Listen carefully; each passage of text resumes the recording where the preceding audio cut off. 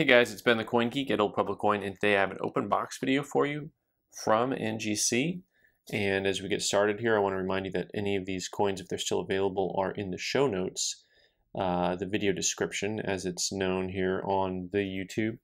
And if you uh, didn't know, we also, of course, you can you can just follow the channel. You can like, subscribe, and share. But also, uh, we have channel memberships which support the channel, support the work we're doing here, and also uh, if you want, there's a also a membership level that uh, gets you a little bit extra behind the scenes content and uh, some more some more of everything, right? So this is the 09S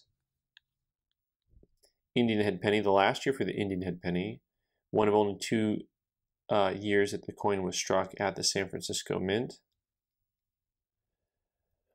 And you know, Indian Head Pennies are funny because people are used to a lot of the silver coins and looking for the Liberty to see how much wears on the coin.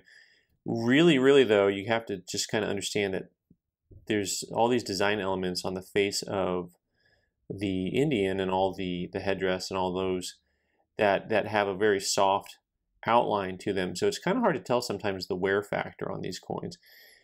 And then I'm going to look at the back of the coin and you're going to see here on the reverse that uh, you really got to know how high up some of these details started.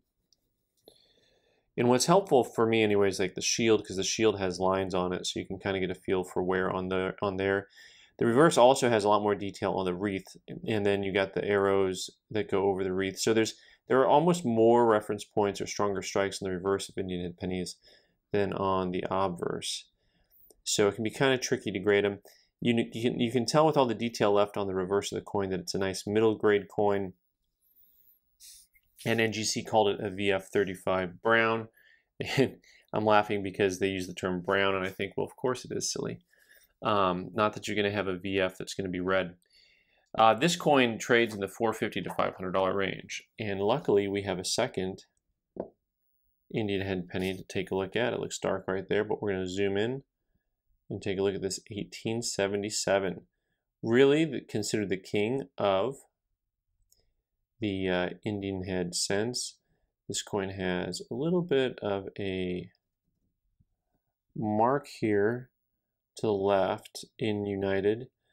One of the things I want to point out compared to the other one is you have a little bit of flatness on that um, hairline that's going into the Liberty a little bit more, which if I can compare it to the 09 we just looked at, is going to mean it's not quite the same grade. Also, the, the wreath, you can just see there's a touch more flatness. Of course, that N is almost gone. The bottom of that N, that's an indicator that the coin is authentic. That's uh, They had one reverse die for these. And you can see the lines on the shield are just a little bit flatter than they were on that 09, 09S. So they call this coin a VF25 brown. And so that's, you can, you can compare the two and it's really helpful to have them kind of side by side and and uh, be able to see the difference in those VFs. the hard part is when you look at them at a glance, it can be really hard to tell the difference on those coins.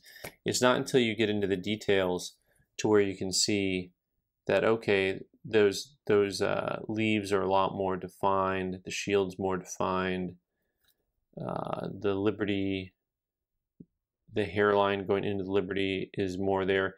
And it's hard to tell sometimes because like the word Liberty is almost impossible to read on this coin because it's kind of lightly struck, but you can see though that the hair is not worn up into that headdress band. So the 77, great coin, tough coin. Uh, this guy here trades anywhere from I think about 11 to 1200 dollars at, at this at this point in time.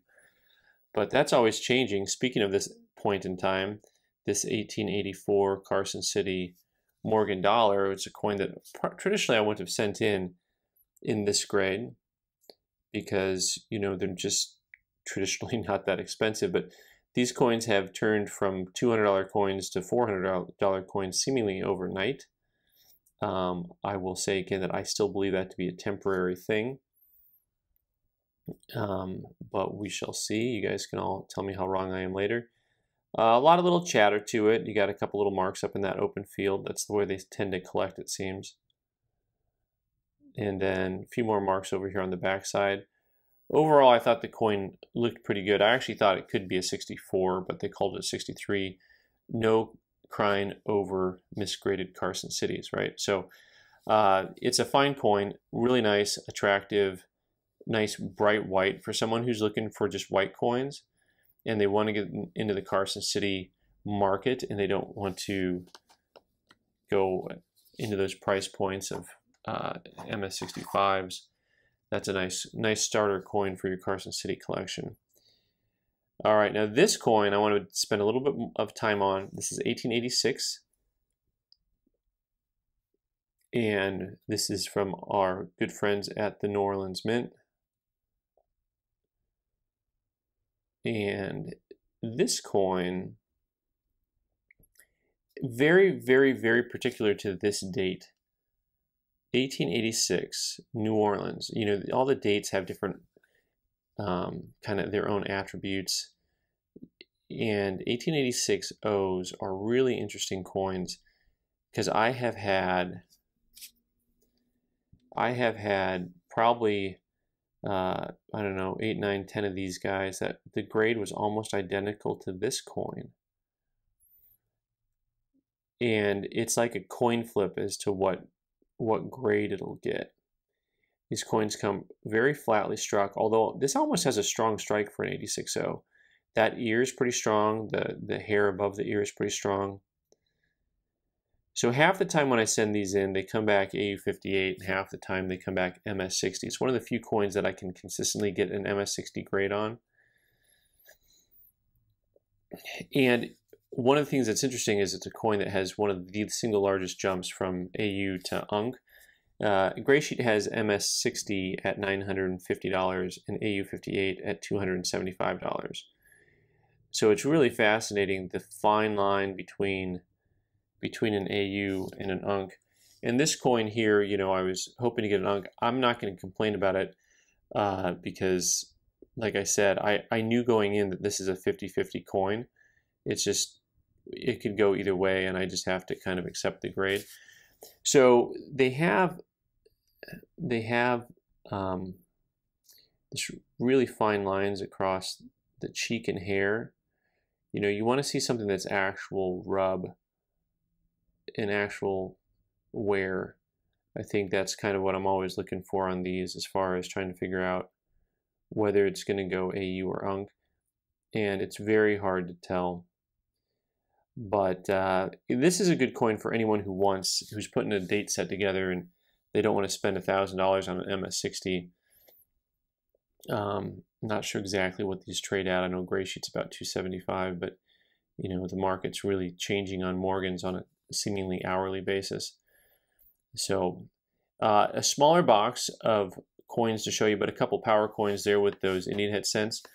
Thanks so much for watching, guys. I'm Ben the Coin Geek. You can subscribe by clicking on the owl button. Watch more videos eh, from the right side and leave comments down below. Thanks.